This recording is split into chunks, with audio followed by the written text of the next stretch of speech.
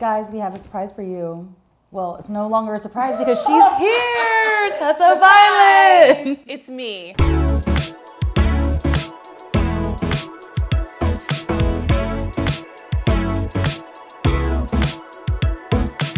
I will just say, out of every single like artist that I've like interviewed, when she walked into the room today, like the energy in the entire building shifted to like something like spectacular and like colossal and like vibrant. So I really want to get into her oh. story. Sorry. good to hear. I felt good coming in. I was like, yeah, I feel good today. You know, I, I haven't done an in person press thing since before the pandemic.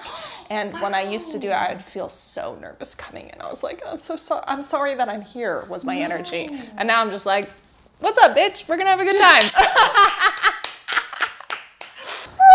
oh my gosh, she's like, what's happening? I'm like, but okay, so you got your start on YouTube Yeah. while you were like vlogging in Hong Kong Yes. and Thailand. Yeah. As a model, shout out. I was gonna ask if you were a model because you are very tall and beautiful. Oh god. Yeah, I mean, well, I I think that's what they do. They send you to like foreign countries to develop Yeah.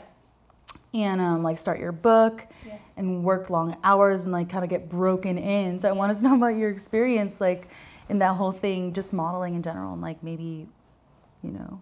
Yeah. Like Um, I didn't like it. here's what I okay before I here's what I did love about it. I loved to get to travel, and I loved being Asia. I did um, Tokyo, I did Hong Kong, I did um, Shanghai, I did Thailand, um, Bangkok, and I did Seoul, and that was a really incredible experience. I'm from a very small town, and to be overseas in a different culture was incredible. The modeling industry, ah, it's not for me. Um, you know, did it give me an eating disorder? Not no. Uh, Uh, not no for like at least a year, and then you were like, okay, wait, we have to be people, you know. yeah, So yeah, it's it's funny because now I love fashion so much, but at the time I, I wasn't really interested in it. So. Um, I, I would not say it was something that I was passionate about, and I didn't like feeling that I was only valued for what I looked like. Um, uh, so it was not for me, but that was like 10 years ago. So I don't know if maybe the industry feels very different now. I think there is just looking out from the outside looking in i feel like there is more emphasis on like personality and personal branding because of the influence of instagram on the industry. Mm-hmm. You know before i think maybe you were more just like a face and a They did not care if you said a word, just yes. Um, but now it is like well who are they on social media? And you can be whoever you want. So mm-hmm. that's a thought i have. I don't know. Is that true? Super well yes. I feel like i'm watching like the industry change over the past few years has been really cool um because i think when we started it was a lot more like boot camp and like strict and like you know you're in the box or you're not in the box Yeah. i remember this one time just like one last thing about this my i my friend alice she was sent to thailand and i like dead serious like i had met her in europe and then she was sent to thailand and then we were facetiming while from Thailand and it literally like she was in the jungle. Like the mall apartment was in the jungle. And yeah, so what, what was that like kind of like your living situation and just kind of like with the other girls? Did you get along with the other girls because you were an artist? Maybe you were kind of out, like the odd one out. No, I mostly did. I, I here's a, though though I have negative things to say about the industry, the mm-hmm. people on a like person to person basis, everyone was really nice and really lovely, mm-hmm. and so that was nice. But I've also always struggled to make friends, or at least I did when I was younger. So maybe I never. No, I have a few people I connected with for sure.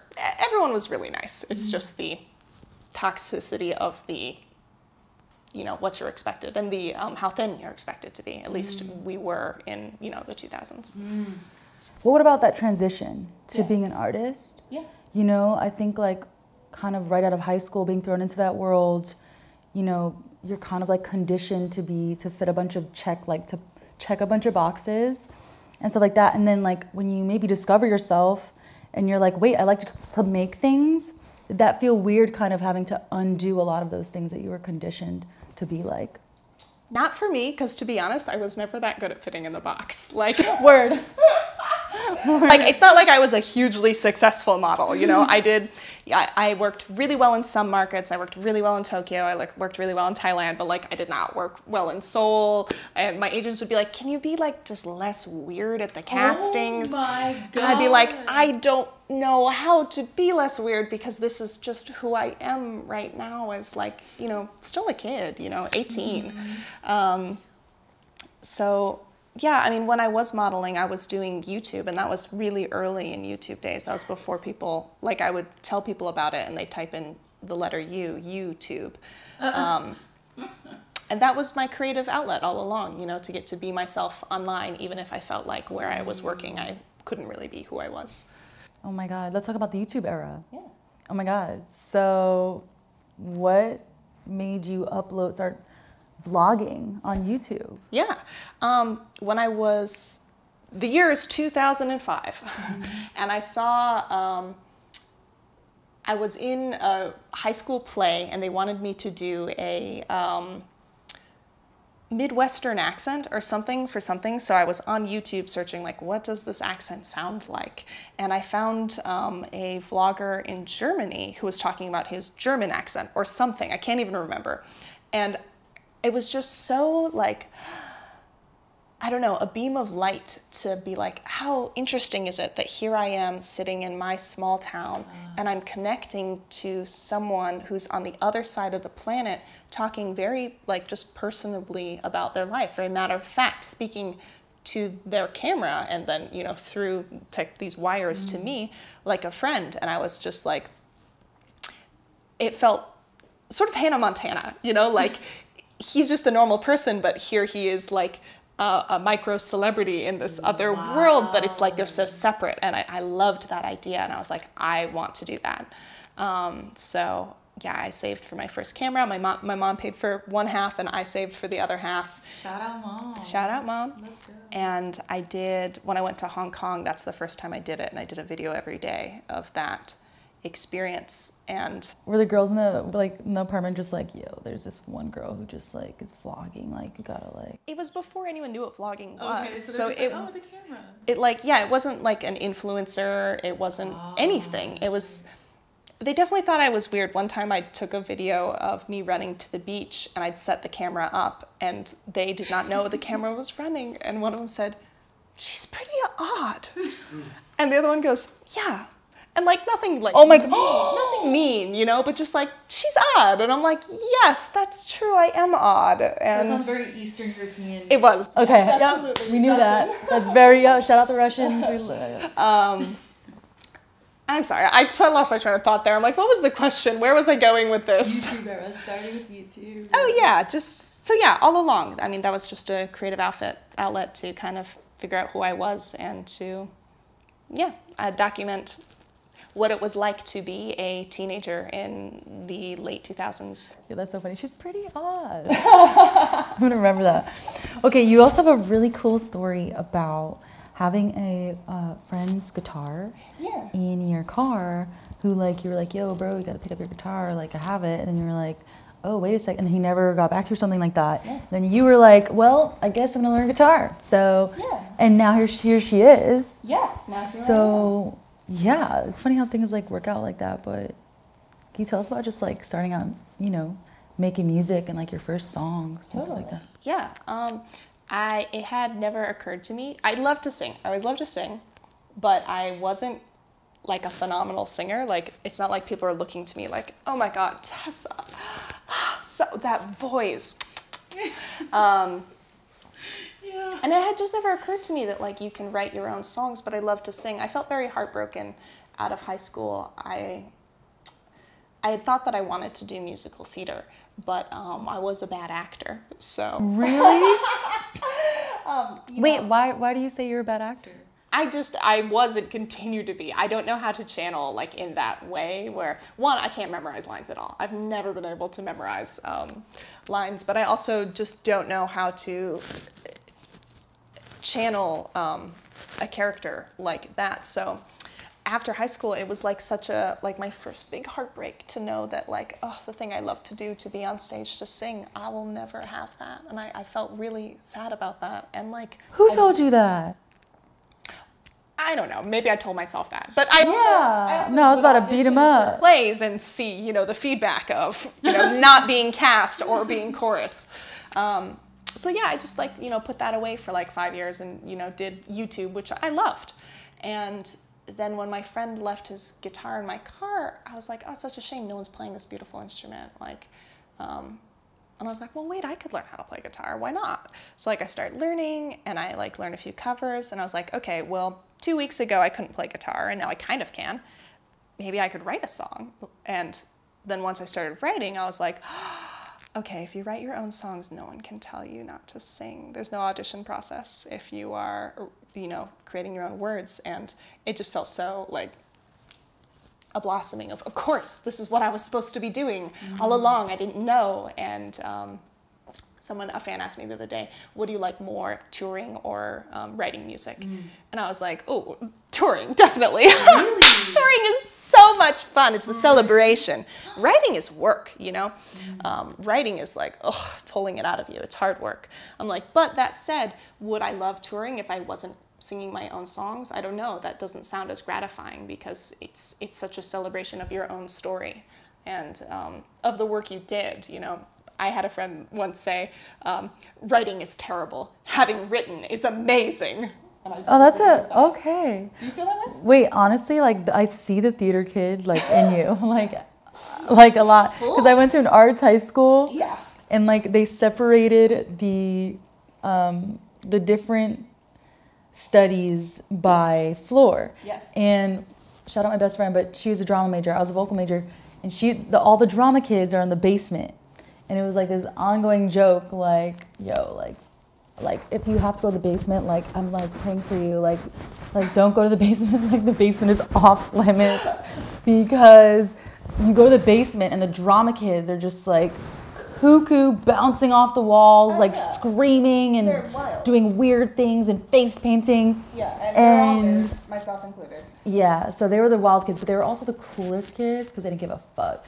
So you give me like drama kid energy shout out laguardia. You also went to an art school too right or you studied in the arts program No, my but my high school is very like arts forward. Ashland is a um, the Oregon Shakespeare Festival is in Ashland, so it has a lot of funding for the arts, but it is just a public school. Wow, and that's that's so important though too, like for you know programs to be offered in just like yeah. public schooling too, because I mean, where would you and I be like without that kind of support? Yeah, arts should be for everyone. There should be more funding in all the schools. All the teachers need to be paid more too. That's a fact. I met this teacher the other day too, and she was like saying that she had to stop teaching because it was like not there was there was oh, yeah. not enough. It's bad news, and it's like, why do we accept this? We we as a culture decide what to do. We could just choose to vote differently, vote different things in. We could choose to prioritize like our public school system, our children,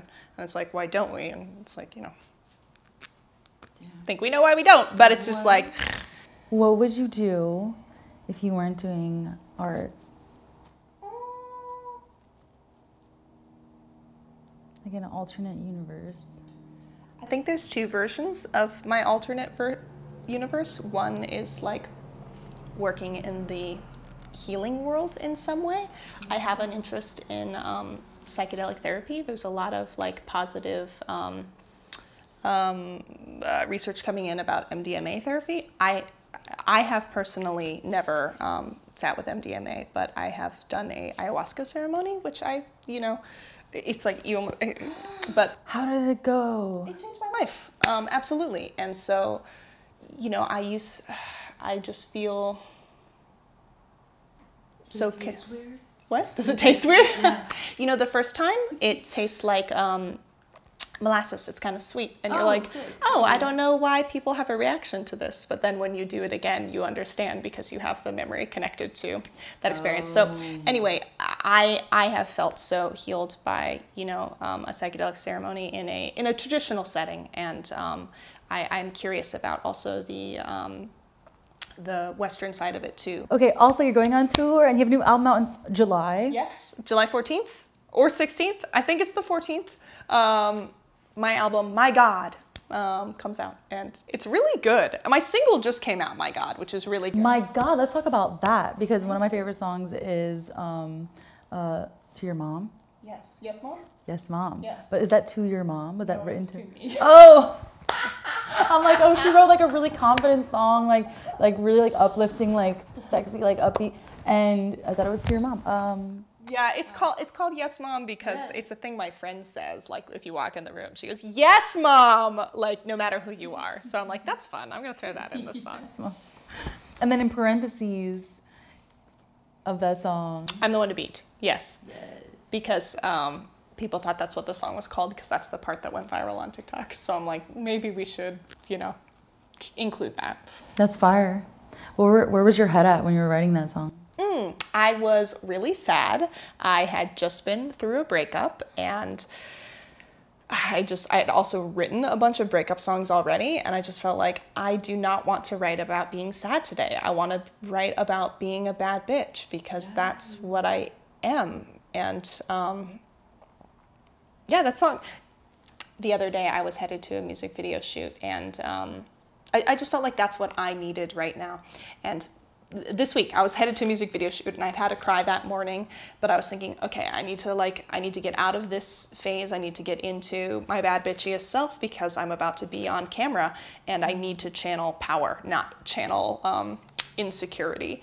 And I put on Yes Mom to hear it, and in it is the second verse is like, um, push me down and I bounce right back, trampoline, and it's in my past. And I'm like, That's fire. yes, bitch. Yes. I'm like, wow, I really wrote this I song got for me. I, ju- I really just got chills. Yeah, and it's like that's okay. I can feel five minutes ago, like five minutes ago, I can feel whatever I was feeling, you know, insecure or whatever, and like that doesn't need to set the tone for the whole day. I can choose right now to be like, okay, that's how I felt then.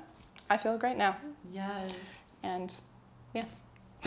Yes. Wait, that's fire. Thanks for giving us like that that Yeah, insight thing.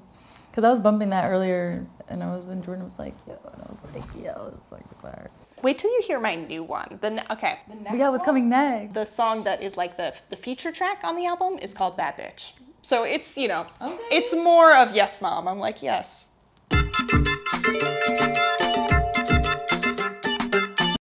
Guys, this is a this is an old Popdust tradition, and we're gonna play it.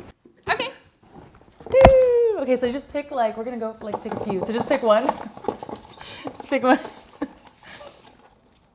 It's like I want to know what they all are. I'm gonna go for this one. Yes. Yeah, yeah. You could you could just yeah. It's a question. Dating apps are meeting in real life. I mean, hey. What about you? Um, I've had honestly, I've met amazing people through in person, but also really amazing people through this app called Raya. Ooh yeah.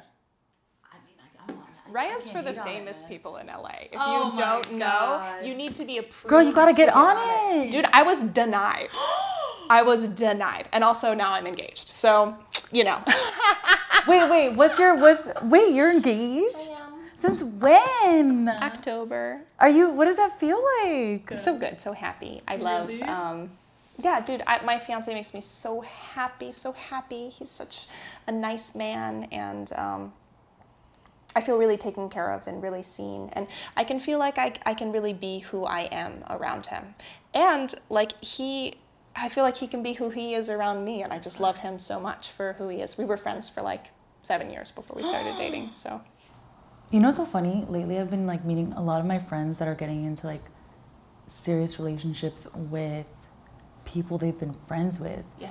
And it has me literally looking at all my friends being like, wait, I think I might actually have some cute guy friends. Um, yeah, uh, I'm like, which one of my guy friends is cute? Jordan's like, what is she talking about? Okay. date your friends. No, seriously. your friends. Date your Date friends. your friends. Or just, I mean, not to be too chaotic, but I'm like, or just hook up with them. I don't know. You know, that's, But then you might ruin it. It has to be like, uh, you know, I, I don't know. yes, think about it. Don't do it impulsively. That's what me and my fiance did. He was like, should we make out? And I was like, he said that to you? yes, which is very me. I love, I love to have a conversation, you know, so I was like, um, let me think about it. And I was like, How long did you think about it for? N- well, just in the conver- I was like, let me think about it. Um, no, I was like, I don't. I, I'm like, I, you know, your friendship is really important to me, and I don't want to get weird, and I feel like I might get weird. That sounds like me. And he's like, great, no worries, it's totally fine, no problem. And then like two weeks later, I was like, so about making out. Oh, Should we try it? Um, and he said something about making out.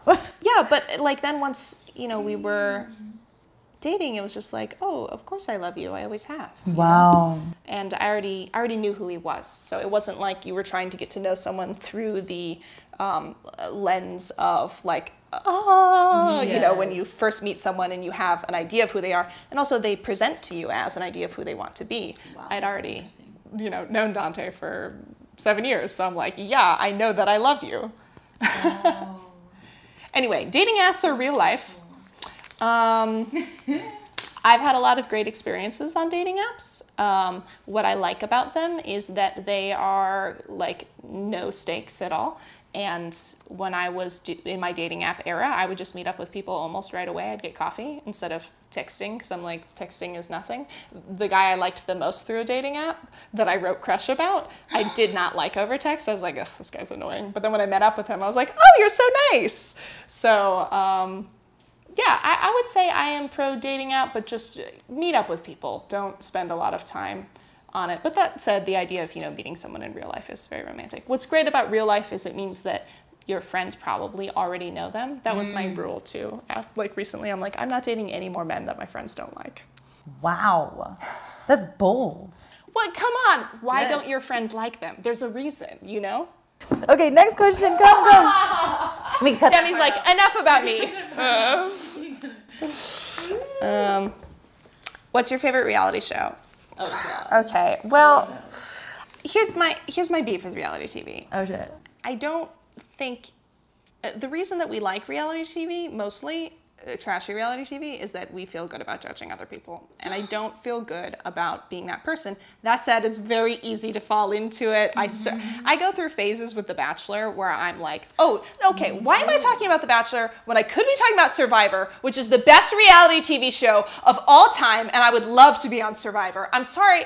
I'm sorry, I, it's because I was just talking about trashy reality TV, which Survivor of is not. If you've never given it a chance, Survivor is so high tier. It has so much like history and lore. People come in with strategy. I love Survivor. Is it like Naked and Afraid? No, no, it is so much better. Okay, okay, one last one. At the beginning of this, I was like, "How long is this?" So I know how long to pace my my answers, and I'm I know I'm going way long. What's the most LA thing about you? Hey, Um, she likes nature. I was gonna say that I live in sweats. It's like I have to be in this city because I uh, need to be in my sweats almost all the time. It's you know I, I've dressed up for this. What about you? What's your most LA? She also loves the nature. Yes, I She doesn't like New York. Sorry, I love Joshua Tree. Have you been? One time. It's so good. One time for a sketchy reason. Oh. And I, I just thought it was just a bunch of sand and cactus. Oh, no, so I didn't really understand the appeal Yeah. to that. Reminded me of that movie Hole a little bit. Yeah, maybe you got to go to a different part. Have you been to the Integratron? No. Oh my gosh, a beautiful sound bath. It's in this building. Really? um, that was built by a man who said that he was getting instructions from aliens to build a Oh, device that hell would make no. you live forever. Nope. He mysteriously disappeared, um, but the Oh, that was his plan. yeah, but the building was acquired by um, a person that does sound baths in the, the um, top now. It's so beautiful. It's a dome-shaped struct- structure. So Dude. One more. you can do. You can just make my episode extra long. um, what game show would you have the best chance at winning? I mean, I want to say Survivor, you know? Yes. But I also have, I'm like not athletic at all, so it's like probably not. But I don't know trivia and I can't spell, so I can't imagine another one I'd be good at. Survivor, you're the newest member. Sitting right here. Yes, Jeff, bring me. Okay, well, thank you very much. That was, that was Sons of Island.